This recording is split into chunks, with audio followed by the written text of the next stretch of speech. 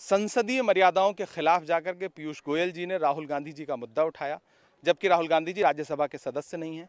और उसके बाद पीयूष गोयल जी को बहुत देर बोलने का मौका देना और लीडर ऑफ़ अपोजिशन मल्लिकार्जुन खड़गे जी को एक मिनट का भी समय ना देना, ये संसदीय मर्यादाओं के खिलाफ है।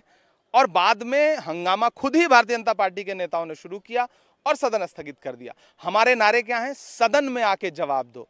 जो बुनियादी नारा है, वो ये है कि सदन में चर्चा करो। हम चर्चा से भाग नहीं रहे। हम चाहते हैं कि जवाब दो अडानी से मोदी का क्या रिश्ता है। हम चाहते हैं कि आप जवाब दो कि आप कब तक एजेंसियों का दुरुपयोग करेंगे। अगर भाजपा कहती है कि राहुल गांधी जी ने विदेशी धरती पर भारतीय लोकतांत्रिक मूल्यों का अपमान किया है तो भाजपाइयों को चाहिए कि नरेंद्र मोदी के पुराने भाषण सुने।